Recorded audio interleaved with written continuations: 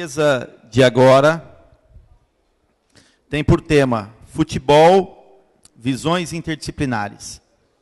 E o início da nossa fala, da, o início dessa mesa será com a professora doutora Paula Teixeira Fernandes, do Departamento de Ciências do Esporte, da FEF, onde o tema da sua fala é contribuição da psicologia do esporte. É, a professora Paula tem desenvolvido interessantes trabalhos relacionando psicologia e futebol, e tenho certeza que nesse momento o tema psicologia e futebol ganhou um destaque muito maior após a Copa do Mundo. Então, professora Paula, gostaria de agradecer. Obrigada, Alcides. Bom dia. É, bom, é realmente um grande prazer estar aqui falando um pouquinho para vocês sobre a contribuição da psicologia no futebol. O que a gente vê e o que a gente viu né, é a importância dos fatores emocionais e psicológicos na preparação desses atletas. Então, vou falar um pouquinho para vocês de como a psicologia pode contribuir para que a gente tenha atletas cada vez melhores e equipes cada vez mais vitoriosas. Vou começar falando um pouquinho de algumas indagações extremamente importantes no cenário nosso agora, atual, depois da Copa do Mundo, a questão de alguns itens da psicologia do esporte e passando muito rapidamente na avaliação psicológica e no, no treinamento de habilidades psicológicas algumas indagações. Eu acho que é muito comum nós ouvirmos algumas perguntas né, nesse sentido. O rendimento de alguns atletas é diferente. Será que isso é uma questão física, técnica, tática ou psicológica? Também vem, alguns atletas não conseguem manter seu nível de ansiedade, seu nível de estresse controlado e acabam tendo prejuízo no rendimento. Ou até, falta motivação para continuar. E é muito comum a gente ouvir Faltou controle emocional. O time não estava preparado psicologicamente. Isso que aconteceu foi devido à falta de concentração. E o famoso pane, que a gente ouviu muito na Copa do Mundo. Então não tem como a gente falar sobre ações do protagonismo do futebol brasileiro sem que a gente se remeta um pouquinho na Copa do Mundo. Que a, a participação da psicologia foi fundamental e foi muito comentada durante todo o percurso da Copa do Mundo, principalmente no que diz respeito à seleção brasileira. Então, o primeiro é, recorte né, que a gente traz é do, do, Neymar, antes do início da Copa, depois da convocação para a seleção brasileira, onde ele fala que acho que não precisa de psicóloga, a gente não está doido. Como se psicologia se resumisse apenas a isso. Ou até, depois que começou, né, psicólogo teme choradeira da seleção, e teme o grande erro do capitão do time, que foi muito falado depois da cobrança, ou antes da cobrança dos pênaltis contra o Chile, onde a gente teve um desequilíbrio emocional muito grande que começou do capitão da nossa equipe. Será que ele realmente apresentava os requisitos necessários ou os requisitos mínimos para ser considerado um líder? A gente sabe de líderes natos, mas a gente sabe de líderes também que são colocados. Será que existem alguns requisitos importantes e que a psicologia poderia contribuir com isso? E aí veio né? a derrota humilhante, sem dúvida nenhuma, entrou para a história, já pagou outras situações uh, ruins da nossa seleção, da Copa do Mundo, mas a falta de acompanhamento psicológico à altura do desafio foi crucial para que a gente realmente perdesse por 7 a 1. Então, o choro descontrolado antes, né, naquele, naquele jogo do Chile. Bons times colocam o profissional na comissão técnica. É dentro da comissão técnica, né, o que a gente não teve aqui. De nada adianta o preparo físico se o atleta não souber dominar o lado emocional. É claro que aqui eu estou fazendo um recorte de alguns, algumas reportagens que foram divulgadas na mídia. O que a psicologia do esporte, então, pode fazer nessas situações? Como será a atuação da psicologia nesse sentido? E é claro que antes de falar disso, o grande exemplo nosso é a nossa campeã alemã, Alemanha. Então, a seleção alemã tem um acompanhamento psicológico desde a base. E quem coordena todo o trabalho psicológico, ele é o homem que mais influencia o técnico da seleção alemã. Além disso, eles simulam o treinamento de habilidades psicológicas é feita é feito de uma maneira muito integral, onde consegue simular situações de pressão, conflitos, adversidades que são é, que podem acontecer em qualquer momento dessa trajetória, principalmente no campeonato mundial. E é interessante, por exemplo, é, tudo, até a torcida, né, a vaia da torcida, eles estavam aqui no Brasil. Aonde eles estavam, só tinha verde amarelo na torcida. Então, até a vaia é, foi treinada para que eles não ouvissem. Tinha uma equipe de 12 psicólogos. 12 psicólogos para a seleção da Alemanha. E o psicólogo do esporte é um parceiro do time. Mente e corpo têm a mesma importância e recebem os mesmos cuidados. Então, eles contam com laboratórios e que esse, esse psicólogo que coordena tudo isso é o braço direito. Então, nesse sentido, gente, o que, que a psicologia pode fazer? Tem muito trabalho para se fazer. Né? Os principais, eles se referem a essa interação entre variáveis físicas, técnicas, táticas e psicológicas. Com essa interação, a gente consegue formar atletas vitoriosos, equipes coesas, esportistas motivados e treinadores eficientes. Então a gente não pode esquecer de todos os fatores que estão envolvidos além do atleta. A partir do momento que os atletas, preparadores físicos, é, treinadores, todos os membros da comissão técnica compreenderem como que os fatores psicológicos afetam o rendimento, a gente vai conseguir ter um treinamento voltado para as competências psicológicas nesse sentido. Então, o que a gente tem? A gente tem todos esses aspectos. É claro que o meu foco aqui é dos, nos aspectos psicológicos. Sem dúvida, né, gente? Seria muito mais fácil se eu pegasse uma bola e simplesmente fizesse uma terapia e falasse que você precisa de gols. Mas não é a bola que está em jogo, é quem chuta a bola. Né? É tudo que está por trás dessa bola. Então, nesse sentido, o que, que é a psicologia do esporte? Importante a gente lembrar que, quando a gente oferece respaldo psicológico, a gente está colocando uma importância muito similar à alimentação balanceada, a todo o restante dos outros aspectos de treinamento. Quando corpo físico e mental conseguirem chegar nessa igual atenção, a gente vai conseguir chegar num todo integrado, aonde o resultado vai ser cada vez mais eficiente. Sem dúvida nenhuma, quando a gente está com alguma dor, algum problema, a gente procura um médico. Quando um dente dói, seguramente a gente procura um dentista. Importante é mostrar que cada um tem seu papel. Cada atleta tem seu papel, cada membro da comissão técnica, a mídia, a família, o apoio social, o suporte que recebe, cada um tem seu papel. E nesse contexto, cada um tem uma importante função para utilizar para o progresso dessa equipe que a gente está colocando. É importante ressaltar que quando eu vou falar em trabalho psicológico, eu não estou falando que o trabalho psicológico é melhor. Eu estou falando que ele deve ser integrado. Só assim a gente consegue um time realmente uh, coeso e eficiente. Então, nesse sentido, a psicologia do esporte é uma ciência que ela está colocada, está alocada em, dentro da psicologia, dentro do esporte e dentro das ciências do esporte. O grande olhar da psicologia é o esporte, o exercício físico, a atividade física, claro, na perspectiva psicológica. Então, nesse sentido, é o estudo do comportamento humano no contexto esportivo. E esse comportamento humano, ele tem é, relação com os fundamentos psicológicos, com cognição, com emoção, com motivação, com todos esses fatores que desequilibram ou equilibram o, esse atleta. Então, como que a psicologia do esporte trabalha? Vou dar alguns exemplos, né? E o primeiro exemplo é pesquisa, investigação. É? A psicologia do esporte trabalha com pesquisa. A psicologia do esporte trabalha com formação e com ensino para formação de treinadores, de agentes esportivos. Consultoria para conseguir apoiar atletas, treinadores, para que a gente busque sempre a melhora do rendimento.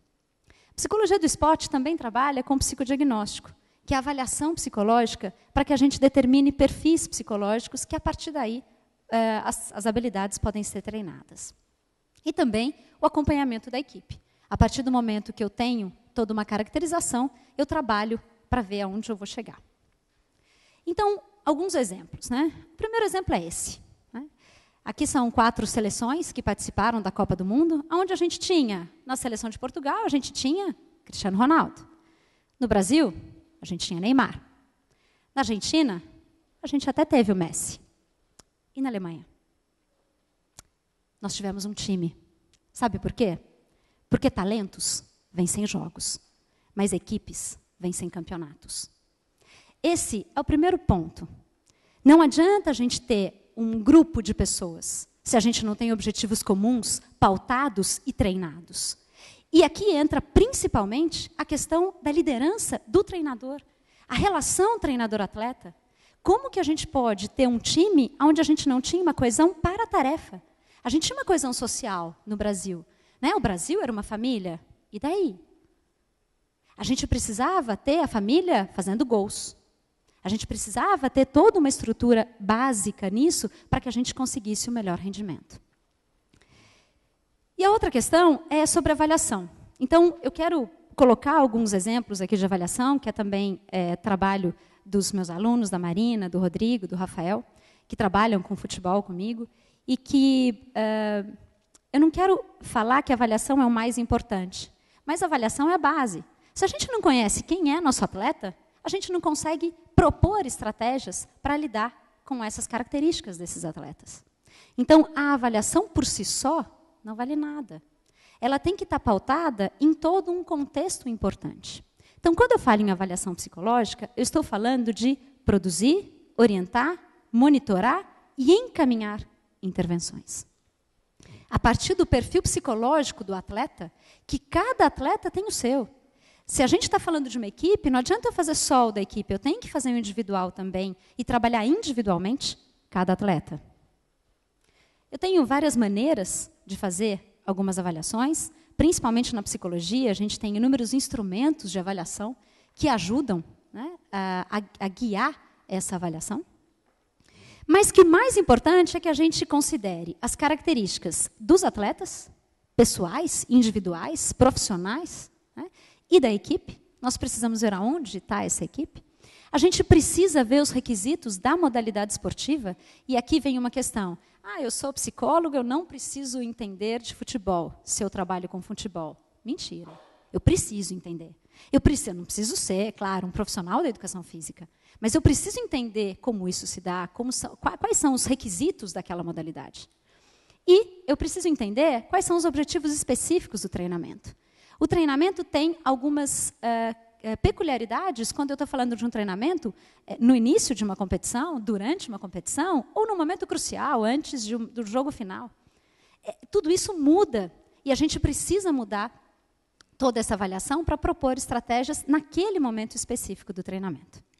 Então, é, dois exemplos, eu não vou é, me estender nesses exemplos, mas é só para vocês verem que aqui é no futebol feminino, a gente tem uma equipe sub-17, onde foram é, avaliadas 29 atletas. É, e o que a gente tem? A gente avalia aspectos emocionais, agressividade, ansiedade, imagem corporal, autoconfiança, autoestima, resiliência, motivação, qualidade de vida e estresse. Essas são algumas das avaliações. Para que tudo isso? para que a gente veja aonde esse atleta, aonde essa equipe, aonde esse atleta está falhando.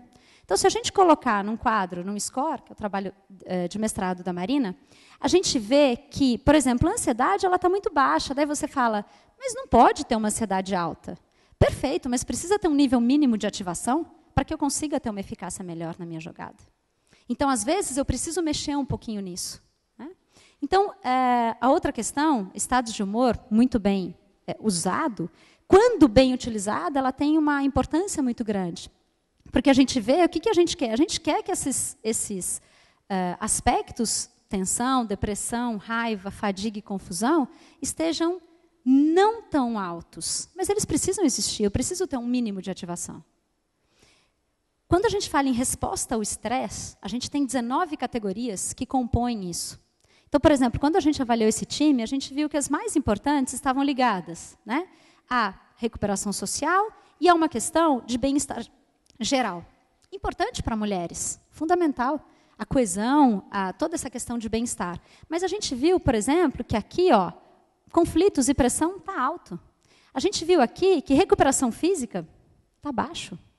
Nós vimos aqui o índice de lesões. Então, peraí, alguma coisa precisa ser trabalhada nesse sentido. E, além disso, a gente também consegue ver uma avaliação cognitiva. Né? A questão da velocidade do processamento, que é fundamental. A pessoa, o atleta recebe a bola, ele tem que saber o que vai fazer com a bola imediatamente. Ele não, dá tempo dele ter grandes pensamentos ou grandes. É, é, uma tomada de decisão tem que ser muito rápida naquele momento. Então a gente precisa estar avaliando como que esse atleta está. É, raciocínio, a memória, a atenção, a concentração, todos esses fatores mostram para a gente um panorama de como que esse atleta está e de como a equipe está se comportando para que a gente consiga fechar um diagnóstico e, a partir daí, propor intervenções. No futebol masculino, a mesma coisa, a gente também faz isso e vocês veem que o que a gente tem é uma ansiedade extremamente menor, uma agressividade até menor, não chega nem na média. Né? A gente tem é, esses fatores de tensão, de confusão maiores do que as mulheres, mas a gente tem um vigor também grande. E o que a gente tem muito aqui é são fisicamente eficientes, têm muita vitalidade. E as coisas menores aqui a gente vê perturbações nos intervalos. Fundamental para a gente estar tá trabalhando. Por que que está tendo isso? O que está acontecendo? De novo, o índice de lesões está grande. O que está acontecendo nesse sentido? Então, quando a gente tem essas características, a gente consegue, sem dúvida nenhuma, compor o perfil psicológico. E esse perfil psicológico, não só do atleta, mas da equipe como um todo. A partir daí, a gente consegue compreender quais as habilidades emocionais, cognitivas, de tomada de decisão que esse atleta tem e o que falta. E quando a gente vê o que falta, a gente planeja. A gente planeja as intervenções seguintes. E nesse sentido, a gente usa o treinamento de habilidades psicológicas. Só que não basta usar também. Eu preciso acompanhar esse progresso. Eu preciso acompanhar o que eu estou propondo. Quando eu falo no treinamento de habilidades psicológicas, que é um treinamento extremamente comprovado cientificamente, sua eficácia, eu estou falando de um programa que identifica, analisa, ensina e treina competências psicológicas e cognitivas. Quando eu coloco isso, eu estou falando que eu vou promover o crescimento, o desenvolvimento pessoal, só que eu vou ter como foco o rendimento. Claro, todo mundo quer ganhar, todo mundo quer medalha. Né? É claro que o foco é esse. Mas a premissa básica de todo esse processo de identificação e de avaliação é que essas habilidades é, psicológicas, emocionais e cognitivas, assim como as capacidades físicas, técnicas e táticas, elas podem ser aprendidas, treinadas, adquiridas, melhoradas e até mantidas. Se eu encarar o treinamento psicológico nesse sentido, eu consigo, sem dúvida nenhuma, trabalhar qualquer item que eu quiser. Sem dúvida nenhuma, eu consigo trabalhar atenção, concentração, influência da torcida, autoconfiança, controle do estresse, motivação, ativação, para que a gente tenha um, uma importante mudança no rendimento desse atleta.